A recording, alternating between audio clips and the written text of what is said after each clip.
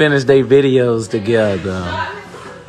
They working though. I told them leave that relationship out the window. Work. That's all. As long as y'all working, it's cool. All right. You understand that? That relationship shit out the window.